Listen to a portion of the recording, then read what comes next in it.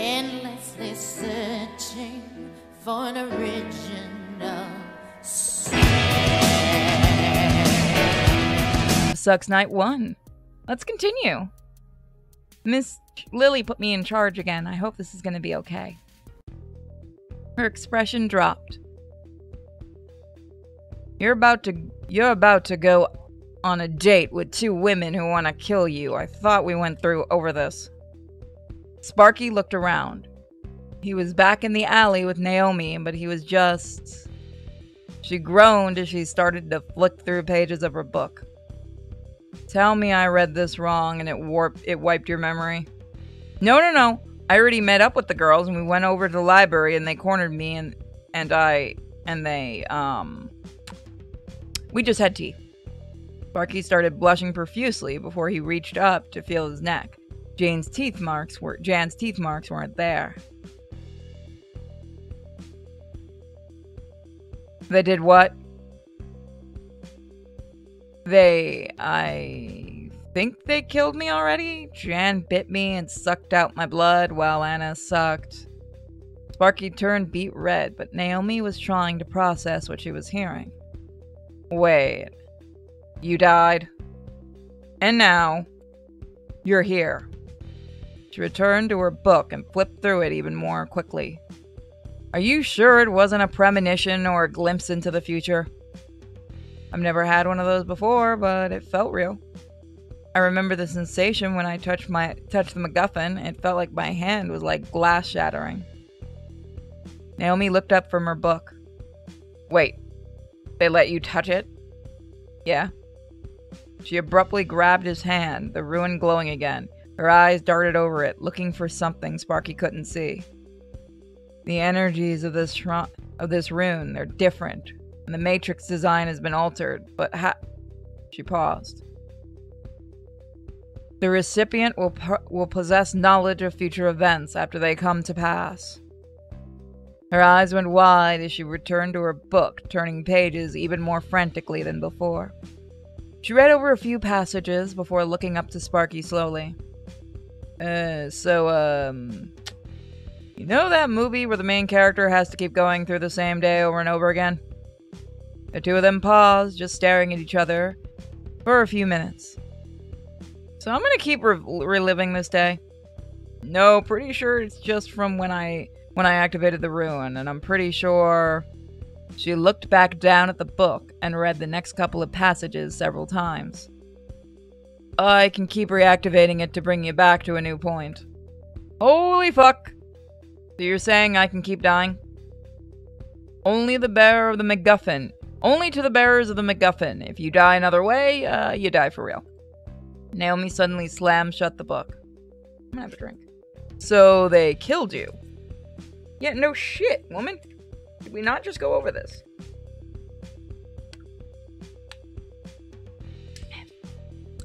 That means I was right, and that means they have to be stopped. Wait, what? Two minutes ago, you were telling me that you didn't know what they were up to and that I couldn't go after them on just assumptions. They killed you. Their intent is pretty clear now, so go home and I'll handle this. Wait, wait! I still might be able to save them. Very cute, Sparky, but it's a bit too late for that. And your demon arse wasn't there to stop him. Yeah, no, now he can, now he could tell her, but he's gonna be stupid about this because he wants that ass. The connection. The reason has to be me. They told me it's because they like me. Naomi paused, staring at him incredulously. Like you? You know you said that out loud. Like you? What is this? Third grade? They killed you, dumbass. No, no, it's like they don't love me, but they have feelings for me. They were really heartbroken when they had to do it, but whatever the reason they had were stronger. I think I can use that to make them stop. Make them stop? With what? G a good dicking? What the? Really? Really? Really? Really? Really? Really? Okay. What the curse word, Sparky? Do you hear yourself? They killed you! Is this a snuff fetish? You're putting your life on the line for them? And yours. Are you still willing to die to stop them? Naomi was furious, but paused immediately. She clenched her fist. I just want to see everyone survive the night. Is that too much to ask? Oh, sorry. I just want everyone to survive the night. Is that too much to ask? Fine. I don't have a full. One. Wait, what? I'm sorry. Fine. What's the current plan? I don't have a full one, but I can I keep dying? Yeah, and you'll keep coming back to me. Are there any rules for keeping the space-time continuum intact? Well, my major isn't astrophysics, so I have no fucking clue. But I'd say don't fuck up too much and don't create a time paradox. I'm not sure how you do it, but we're messing with heavy stuff. So, are you allowed to help me? I'm trying to help you. You hard on your hard on is making it difficult. No, I mean if they kill me and I come back to you with information, can you help me? That's very risky, Sparky. I can't get found out as a. I mean, Hunter. What do you mean? It's Halloween. I assume that the getup isn't standard issue, right? Naomi's scowl broke for a moment and she looked down. What's wrong with my outfit? You look like a fantasy character. If you approached someone looking like that last month, they'd be all they'd all there'd be a problem, but it's Halloween. Nobody's going to know the difference. Naomi huffed. Fine, so what now? They brought me to two se- to 270 in the library. They let me go in first, and then they snuck in somehow. Likely so they wouldn't be seen with you, so can you can you bring attention to 270? Foil them somehow? Seal the door shut with magic? I don't know, something you subtle. Naomi nodded as a smile crept onto her face. Yeah, I got something in mind. But I still need to examine the MacGuffin. Where is it? Jan pulled it out of her hair. That's weird. She must have a magic pocket. She probably doesn't have good control of it. She's lucky she doesn't just drop the thing. Naomi nodded. I can probably get it with close contact. See? I think this is coming along together quite well. And I think you're going to the extreme lengths for two people who have proven that they want to murder you. Well, you did say I wouldn't accept don't stick my dick in crazy advice. Naomi paused. When did I say that? Oh, um, last time. Well, I was right. You pointed at Sparky. But I need that MacGuffin. Tonight. If it can manipulate time, I need to see how dangerous it is. And after I analyze it, I will decide what happens next. Deal. Sparky waited again for the girls. It was a bit creepy.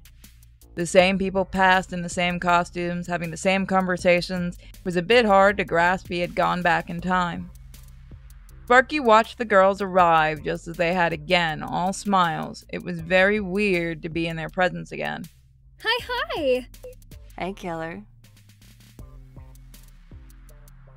Anna once again stepped forward and winked, showing off her costume. Oh, what do you think, cutie? Sparky was about to respond, but thought but a thought brought a smirk to his face.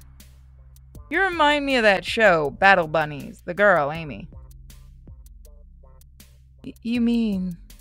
Jen sighed in Anna's obvious excitement. That anime thing, isn't it? Yes, yes, it is. And you said nobody would get it. Sparky turned to Jan and smiled. Tell me how great my costume is. And you look and look at your maid costume, such detail. Did you make it yourself? I I Wow, thank you for noticing. Both of the girls shared a nervous glance at each other before smiling at Sparky. Let's go. Let's go. I want to take the haunted tour at the library. I hear they went all out this year and don't want to miss it. Anna perked up. Yeah, come on. Both of the girls started heading towards the oddly shaped building. and Sparky let himself have a grin before following. They arrived at the library once again, and the girls paused as they got closer. Go ahead in, Theo. We'll meet you in there. Yeah, we need a minute. We'll meet you by the lect- the lecture hall upstairs, room 270. Not a problem. See you guys in there. Sparky walked up the stairs again and turned to see them gone. He grinned and started quickly toward the room. As Sparky entered, Dr. Blankenship wasn't there this time. He hoped she was okay. He followed the same path he did to go up to 270. So now we see things are a little bit different each time. As he arrived, he saw Dr. Blankenship inside talking on her phone. Sparky cringed. Did Naomi put her in danger now? He moved into the room. Dr. Blankenship noticed him and told him with a finger to give her a moment. Yes, 270. It is everything. It, it is everywhere inside the room. All right. See you soon. Thank you. She hung up. Hello, Theo. Fancy seeing you here. Uh, yeah, what happened? Someone threw a stone in the window. Shameful, really. Normally, people are so careful, so well behaved on Halloween. I hope nothing of Professor Sobeys was ruined. Becky looked around at all the glass on the floor. Subtle, or subtle, right? So, you heard it from your. So you heard it from your tour then? Oh no, Naomi reported it to me. Dr. Blankenship Horton and Sparky turned to see Naomi against the wall. She waved. Hey, Spark. Hey, Sparky. Oh, you know about his nickname too? I found that that's so interesting. I hate being the last to know things. After a moment, the girls appeared at the doorway, both shocked, with shocked look on their faces. Dr. Blankenship, what are you doing here? Oh, hello, John. Anna, what brings you here? Uh, we, um, back. They're with do- me, Dr. Blankenship. They invited me out. Oh, good. Oh, good of you girls to actually get him out of the book for once. And that's a lovely costume, Anna. Reminds me of a very old show called Battle Bunnies. Anna immediately blushed. But why are you all up here? Jen told me to meet her up here, right? I, um, I thought this is where the tour started. No, that's downstairs, but all of you out, shoo. Security is going to want to look it over. Naomi moved quickly over to Sparky. You heard the lady. She started to push him out the room towards the girls. She leaned in and whispered in his ear. I'm going for it. As they reached the doorway, Sparky felt one of his feet pulled out from under him and he tumbled forward. Right into a pair of tatas. Sparky blushed heavily as he pulled as he pulled his head out of Anna's bosom, who herself was blushing. I'm really sorry, I. Geez, Sparky, you gotta be more nimble on your feet. Naomi had fallen into Jan and was already on her feet, manhandling Jan to try to get her up. You okay? As Naomi asked, she hit Jan's back with her hand, perhaps a bit too hard. As she pulled her hand away, Sparky saw the MacGuffin necklace hanging out of her closed fist. Yeah, I'm fine. Jan seemed quite miffed, examining her outfit. Sparky helped and bl- the blushing Anna up. Is everyone all right? Everything's fine, Doctor. We just fell. Blankenship just shook her head. Crazy coeds. Well, I have to remain here and skip my next tour. I want to make sure everything of Sobeys is still here. I'll be giving it tomorrow, though, so do come back. In fact, extra points if you do. That means Sparky is going for sure. Sparky? Who's Sparky? Oh, Theo is Sparky. I thought Theo was Theo. Oh no, Sparky's his nickname. It's a delightful little tale. Sparky blushed. It's uh my roommate gave it gave me the nickname. Now shoo. You're all in costume. I sure you have I'm sure you have fun things you want to do, so shoo. All kinds of things. I'm gonna head off. I'll see you guys. See you later, Naomi. Probably sooner than you think. Oh, Naomi's gonna use it on us. Fuck. The three the three wound their way through the library, heading toward the stairs. Jan and Anna looked very nervous and deeply conflicted. They shared glances at each other, but didn't really say anything. Uh, hey, Theo, I mean Sparky. Since this place is out of the question, what if we took you back to our place and, you know... She winked at Jan, who nodded as a smile crept onto her face. Yeah, come on, Sparky. How about we take take you back to our place? Sparky blushed at the at the prospect. Even though he knew it would lead to his death, he couldn't deny the temptation. We can get to that, but I'd really like to go out with you two and see some of the sights. All of the Crescent Valley is celebrating Halloween. There's tricks there's trick or treating with the staff at the science building, and of course the carnival. Why don't we visit one of those? Jan seemed perturbed, but then a smile formed on her lips. She wandered behind Anna, putting her hand on her shoulder, and Anna glanced back at her.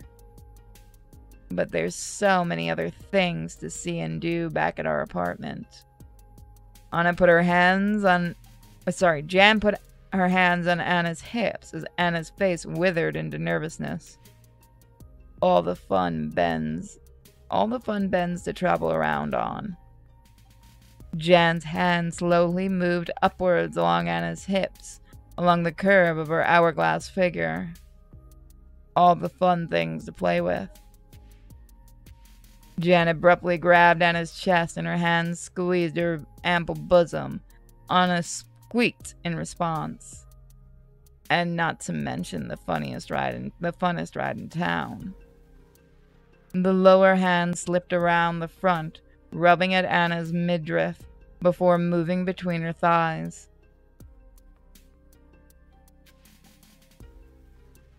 All you have to do is let the word yes go from your lips to her. Holy shit, she's horny. Anna suddenly turned and locked lips with Jan, pushing her against the wall. She passively drove her face into hers, the vampire's eyes going wide with shock.